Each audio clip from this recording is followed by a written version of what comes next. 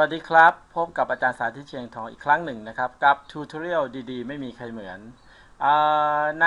สัปดาห์นี้นะฮะ พบกับแบบฝึกหัดที่จะนำคุณไปสู่ Final Project นะครับ ของการ tracking นี้นะครับตอนนี้ผมมีสองแบบฝึกหัดด้วยกันนะเราจะพบว่าแบบฝึกหัดแรกเนี่ย เราถ่ายในสตูดิโอนะฮะใน Green Screen Studio นักแสดงของเรานะครับ ทำการยิงปืนนะโดยติดจุด track ไว้ที่กล้องเอ้โทษทีฮะโดยติดจุด track ไว้ที่ปืนนะฮะเสร็จแล้วก็อันดับ 2 ก็คือ dolly ของเราเคลื่อนที่ไปข้างหน้านะครับเพราะฉะนั้นในแบบฝึกนี้นะฮะสิ่งหนึ่งก็คืออาวุธปืนหรืออะไรก็ได้ object ที่นักแสดงเขาถือ อันนั้นเป็น CG นะฮะแล้วก็เคลื่อนที่ด้วยนะครับ อีก อีกสิ่งหนึ่งที่เคลื่อนที่ก็คือกล้องนะฮะกล้องเคลื่อนที่ไปข้างหน้านะครับ ทีนี้เดี๋ยวเรามาดูว่า ข้อดีข้อเสียนะฮะของแบบฝึกหัดทั้ง 2 แบบฝึกหัดที่ผมยกตัวอย่างมาให้เนี่ยแล้วดูว่ามันมีข้อดีข้อเสียอย่างไร ในแบบฝึกหัดแรกนะฮะเราจะเห็นว่านักแสดงของเราเนี่ยนะครับเเดินเคลื่อนที่มาข้างหน้าถือปืนนะสายไปสายมานะครับ แล้วก็กล้องก็ถอยหลังนะฮะคู่ขนานไปกับ นักแสดงนะฮะงั้นเราเห็นอยู่2สิ่งก็คือ นักแสดงเคลื่อนที่ปืนเคลื่อนที่ แล้วก็กล้องเคลื่อนที่นะครับ อ่าทีนี้ สิ่งหนึ่งที่อยากจะให้พวกเราพิจารณาสังเกตก็คือจุด track นะประเภทแบบกลมๆ แบบนี้มันมีข้อดีข้อเสียอย่างไร เดี๋ยวเดี๋ยวเรามาดูกันนะครับอ่าโอเค ทีนี้สิ่งหนึ่งที่เราจะ track ตอนนี้นะ เราจะ track background ก่อนคืออ ข้างหลังนักแสดงแล้วก็เพื่อจะจำลองมุมกล้องที่ใช้ถ่ายก่อนนะเบื้องต้น แล้วก็ไปที่ Auto Track นะครับ สังเกตว่าผมใช้ Auto Track ในการ track background โดยที่ใช้โลโตนะฮะกันกันนักแสดงออกไปเพราะว่าอะไรครับ เพราะเราต้องการ track background ที่ไม่เคลื่อนที่นะเพื่อจะได้มุมกล้อง ดังนั้นอะไรที่เคลื่อนที่เราต้องโลโตกันมันไว้ ขั้นตอนแรกนะผมไปที่ Mask เพื่อจะสร้างโลโตโดยใช้ Bezier โลโตนะฮะ ผมก็คลิกพยายามโลโตรอบๆตัวนักแสดงที่เคลื่อนที่นะฮะการโลโตลักษณะนี้เขาเรียก garbage match ก็คือการโลโตแบบหยาบๆนะฮะเพื่อให้ได้ผลที่เร็วขึ้นนะครับ เราสามารถเปลี่ยนสีได้นะถ้าคุณต้องการเปลี่ยนสีนะของโลโตซึ่งไม่ได้มีผลอะไรเพียงแต่ว่าให้เราสามารถ เห็นได้ชัดเจนขึ้นนะครับอ่าทีนี้ต่อมาหลังจากโลโตเสร็จแล้วเราก็ทำการ tracking นะครับ ให้นักแสดงเนี่ยนะเคลื่อนไหว เมื่อโลโตเนี่ยนะฮะ เมื่อนักแสดงนะครับที่กินเข้ามาในเนื้อโลโตเราก็ต้องแอนิเมตมันกลับไปนะฮะ พยายามที่จะ move ตัวโลโตเนี่ยให้ cover ตัวนักแสดงไว้ เสร็จแล้วเราก็ทำการ track ต่อไป แบบนี้จนกว่าจะจบนะฮะจนกว่าจะจบทั้งหมดนะฮะคงไม่ต้องถี่มากนะทิ้งช่วงสักระยะหนึ่งนะฮะแล้วก็ทำการโลโตขยับนะฮะสาเหตุที่เราต้องโลโต เพราะว่าเราไม่ต้องการให้เวลาที่ออโต้ออโต้แทร็กนะฮะมากินเข้ามาในเนื้อของตัวนักแสดงและอย่างหนึ่งนะฮะการที่เรา กินพื้นที่เยอะเกินไปแบบนี้นะฮะ ก็จะทำให้ไปกินพื้นที่ในการ track ของ auto track ด้วย ดังนั้นเนี่ยก็พยายามคีปให้มันไม่กระจายตัวมากเกินไปนะครับเราก็ทำแบบนี้จนเสร็จนะฮะอันนี้จะเป็นตัวอย่างที่ที่ผมโลโตเสร็จเรียบร้อยแล้วนะครับนะทีนี้ต่อมาหลังจากที่ เดี๋ยวผมดีลิทตัวนี้ทิ้งกันนะฮะ หลังจากที่เราโลโตเสร็จเรียบร้อยนะครับ เราก็กลับมาที่ parameter แล้วก็กด auto track ได้เลยนะครับ หลังจากที่คุณคลิก auto track มันก็จะวิ่งให้ไปและกลับนะฮะ เราจะเห็นว่า track สีเหลืองเนี่ย มันจะไม่อยู่ในตัวนักแสดง อันนี้เรากันไว้ หลังจากที่เสร็จ process ของ tracking เรียบร้อยแล้วก็ไปที่ camera source นะฮะ เนื่องจากโปรเจกต์เนี้ยผมไม่รู้ ว่า focal length เท่าไหร่ film back เท่าไหร่เนื่องจากผมโหลดมาจากอินเทอร์เน็ต ดังนั้นเนี่ยนะฮะผมจะข้ามขั้นตอนนี้ไปก่อน ก็โดยใช้ unknown นะผมใช้คำสั่ง unknown ก็เพราะผมไม่รู้ก็ใช้เดาเอา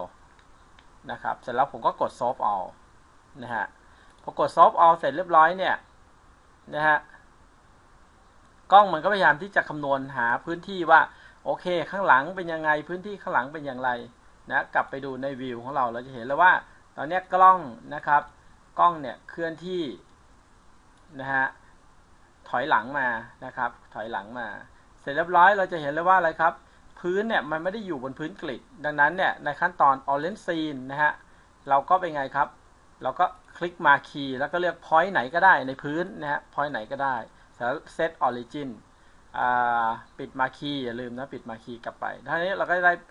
point ที่อยู่บนพื้นกราวเรียบร้อยแล้วนะฮะ แบบคร่าวๆนะฮะตอนนี้ส่วนแรกก็เสร็จสิ้นลงแล้วก็คือเรื่องของกล้องนะครับ เรื่องของกล้องที่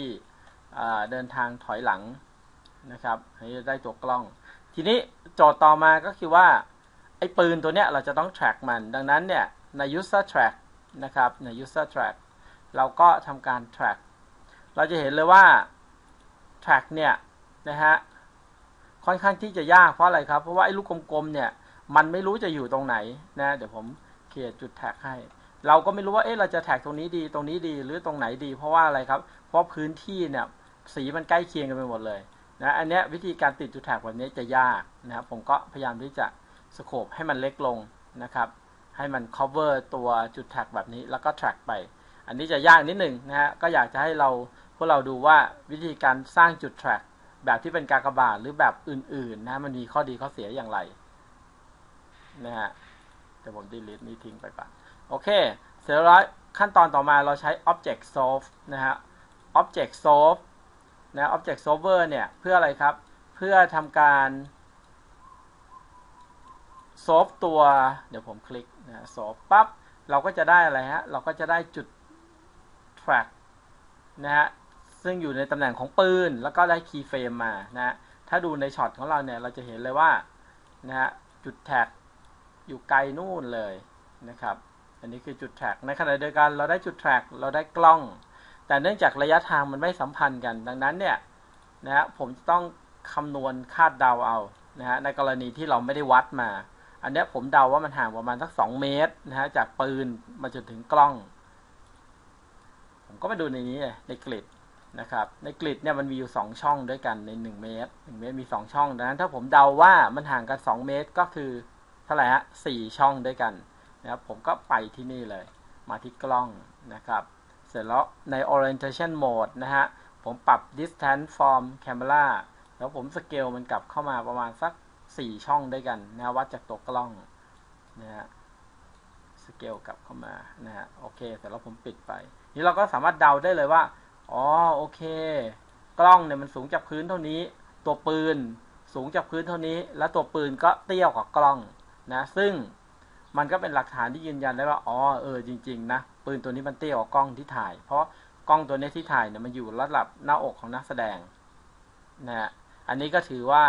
เสร็จขั้นตอนแรกคุณก็สามารถ Export นะฮะใส่คำสั่ง Export ส่งกลับเข้าไปในมายาได้เลย ทีนี้กลับมาในแบบฝึกหัดที่2นะฮะซึ่งกล้องก็เคลื่อนที่นะปืนก็เคลื่อนที่ นักแสดงก็เคลื่อนที่ เดี๋ยวมาดูกัน เราใช้คอนเซปต์เดียวกันเลยฮะ ก็คือว่านักแสดงนะในที่นี้เนี่ยเราทำได้หลายวิธีเดี๋ยวเอาเอาวิธีนี้ก่อนนะฮะ ผมใช้ Auto Track ก็คือวิธีเดิมนะครับ แล้วก็ Max Loto นะครับ Loto นักแสดง แล้วก็ Keyframe มันนะฮะ เสร็จเรียบร้อยกลับไปที่ Parameter แล้วก็ Auto Track นะครับเดี๋ยวสิ่งหนึ่งที่ผมรู้ เพราะผมถ่ายเองก็คือ 25 frame นะ per second แล้วก็ preset Sony นะครับ FS100 นะฮะ ผมได้ film back 23.6 นะครับ อันนี้ อันนี้ อันนี้ผมรู้ มันก็ทำให้ทำงานได้ง่ายขึ้นนะ หลังจากที่เรา track เสร็จเรียบร้อยนะครับ ยังไงฮะ เราก็ใช้ camera solver นะครับ ใน camera solver ผมใส่ focal length 18 เนื่องจากผมจำได้ว่าผมถ่ายด้วยเลนส์ 18 นะครับ แล้วก็กด solve ได้เลย นะครับเสร็จเรียบร้อย orient scene ก็เหมือนเดิมนะเลือกมาคีเลือก point ที่พื้นนะครับ แล้วก็เซตนะ set origin นะครับ grid ก็จะไปวางบนนั้นนะฮะเราก็สามารถเช็คดูได้เลยว่าอ๋อโอเคนะพอยต์ส่วนใหญ่วางอยู่บนกริดมีกล้องที่เคลื่อนที่นะมีกล้องที่เคลื่อนที่ไปข้างหน้า อันนี้กล้องของผมเคลื่อนที่ไปข้างหน้านะครับ ต่อมาผมใช้ user track นะฮะ ใช้ user track track นะแท็กปืนนะแท็กปืนในที่นี้สังเกตดูว่าจุดแท็กแบบกากบาทของผมนะฮะแบบขาวกับดำเนี่ย มันให้ค่าคอนทราสต์ที่สูงนะ ก็ทำให้แท็กได้ง่ายขึ้น ในกรณีที่ปืนเนี่ยมันขึ้นที่เร็วนะ เราจะสังเกตเห็นว่าลักษณะเนี้ยขึ้น tracking ยากมากนะ ต้อง track ทีละเฟรม เดี๋ยวเรามาดู user track กันนะครับว่าในแต่ละช่วงนะครับที่ผม track ทีละเฟรมนะฮะจะคล้ายๆกันสังเกตดูจังหวะนะฮะผม track ที่ข้อมือเราจะเห็นเลยว่าถ้ากรณีที่เกิด motion blur มากๆนะฮะแบบเนี้ยนะครับมัน track ยากมาก ดังนั้นก็ต้อง track ทีละเฟรมและอาศัยการคาดเดาพอสมควรนะครับ โอเค หลังจากที่เรา track เสร็จเรียบร้อยเราก็ใช้ orange scene ไอ้โทษทีฮะ หลังจากที่เรา track เสร็จเรียบร้อยเราก็ใช้ object solver นะครับ ก็ใช้คอนเซปต์เดียวกันคือย้ายนะในกรณีนี้เนี่ยปืนนะสูงกว่ากล้องเราสังเกตดูนะสุดท้ายเราก็สามารถนะ export เข้ามายาได้เลยเหมือนกันนะครับ ทีนี้อยากจะแนะนำอีกวิธีหนึ่งก็คือว่าคุณสามารถนะครับทำการ undistort ได้ นะฮะก็เลือก undistort นะฮะถ้าคุณต้องการ undistort ในช็อตของคุณนะครับ เช่น เช่นผมเห็นว่านะฮะ new line ผมเห็นว่าขอบด้านบนเนี่ยนะครับ สามารถเลือกทำการ undistort ได้ผมก็คลิกนะครับ คลิกผมซูมเข้าไปว่าเอ้ยผมสามารถนะผมสามารถที่จะทำการ undistort ได้ นะฮะโอเค เสร็จเรียบร้อยผมก็คลิก solve นะฮะเรียบร้อยละผมสามารถ undistort scene ได้นะฮะต่อมาผมถ้าผมไม่เลือก auto track ผมใช้ user track ได้นะครับ user track เนี่ยนะฮะนะ user track ผมก็ track พื้นปกตินั่นแหละครับ นะฮะสามารถ track พื้นปกตินะ track ไปได้ ขั้นต่ำก็ประมาณ 6-7 จุดนะที่พื้นก็เหมือนกันนะหลังจากที่คุณใช้ user track เรียบร้อยแล้วนะคุณก็สามารถทำการ orange scene ได้นะแต่ถ้าในกรณีในฉากของคุณเนี่ยนะครับมี มีการติดจุดแท็กเยอะแล้วคุณสามารถวางแกนแนว x y z ได้ในซีนอันนี้ก็ยิ่งดีนะอันนี้ก็ตามที่เราเคยเรียนไปแล้ว คุณสามารถติดจุดแท็กที่ผนังก็ได้นะฮะอาจจะวัดระยะห่างกันสักประมาณ 1 เมตรนะกว้างคุณยาว 1 เมตรนะ1เมตร แล้วก็ห่างไป 1 เมตร สูง 1 เมตร นี้ติดเป็นตารางไปเรื่อยๆ คุณก็สามารถที่จะ